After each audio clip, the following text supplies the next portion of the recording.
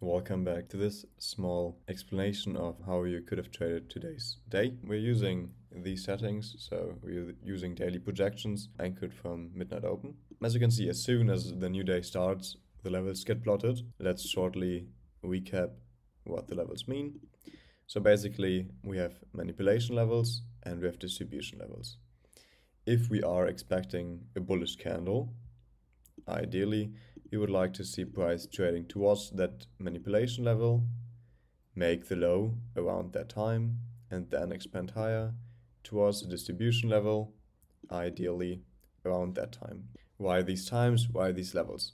Basically, what the indicator is doing, it is um, making statistics of the last 182 Tuesdays, and it measured how far price manipulated and how far price distributed.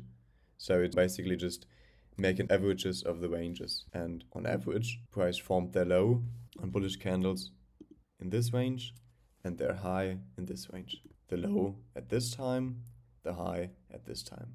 Let's see what happened. Usually, we are expecting the low to form around this time, but ideally, yep, we would like to see the manipulation level being hit. Once that level is hit, let me just mark that out. This was the level. We would look on lower time frames to see if price shows some willingness to trade higher. In this case, we traded above this level and above this level, so either could technically be used to go long. Okay, price trades lower again into that bullish fair value gap. Within that order block or mitigation block. And from there, price continue to trade higher. Um, a low hanging fruit target could be these equal highs, or these equal highs, or these equal highs. Price trades lower again into that rejection block, overlap with that mitigation block again. So this could be a potential continuation trade. Let's just do it for the demo purposes. And price trades higher again. And we could, once we take out this high, we could technically close this position again. However, if we go on the hourly again, we see that we expect price to trade even higher towards this distribution level. However, it's always um, recommended to take partials around important levels, like for example, this previous daily high or this London session high. What was also additional confluence was that ES, a correlated asset, took out this Monday's low. As we can see, if we go to the ES, we see this low has been in fact taken out. Also, it was very close to the manipulation level and traded higher from there. But again, NQ failed to take out this low, so that's called an SMT divergence, which gives additional confluence for price to trade higher. Let's also just uh, shortly explain the table.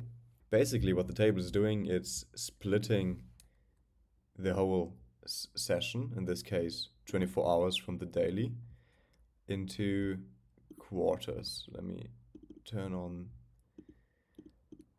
the time quarters. There we go.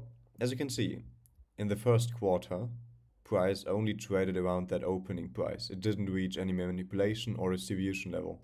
So in this case, as you can see down there in the table, only the, the cell of the opening price in the first column was colored gray. In the second quarter, you can see price traded towards that manipulation level, price traded through that opening level, and price traded through the bearish manipulation level. So in this case, you can see all three of these columns of these cells are colored in gray. Once price continues, the cells get colored in their specific quarter. Let me see if I can quickly find an example. Let's look at four hourly ranges because yeah, the indicator allows you to calculate these statistics for basically any time frame. As you can see, for example, we are still in the first quarter of this four hour. So we are in the first hour and we've already traded through the opening, through the bearish manipulation, and through the bullish manipulation. So all three of these cells are colored in gray. If we look at this morning, we can see the first quarter, in this case the first hour from 6 to 7, only traded around the opening price. So only the opening price in the table was colored gray for the first quarter. In the second quarter, however, we traded through the opening price into the manipulation level. So these two cells are colored gray. From there, price once again traded lower, taking out this low once more. Now making the CSD, the change in the state of delivery. From here, trading higher. As you can see, we're on the third quarter now, and we traded through the opening price. So once again, that cell is colored in gray. We're on the still in the third quarter. Now, as you can see, um, we are in the fourth quarter, and price just traded through the manipulation price, so that cell is colored in gray. And now, as you can see, price also reached for the distribution level. So also that cell is colored in gray, and we saw a small little retracement from there. Perfect. So as you can see, for example, this is a perfect four hourly candle. We started off, as I explained in the beginning, we traded lower around the time. Actually, the time was perfect, 7.54. That's the 7.50 candle. Perfect time and a perfect price level.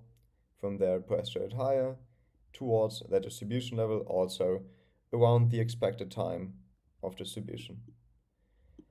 If there are any other questions, feel free to post them in the comment section below, and I wish you a very great and pleasant day. Thank you very much for listening.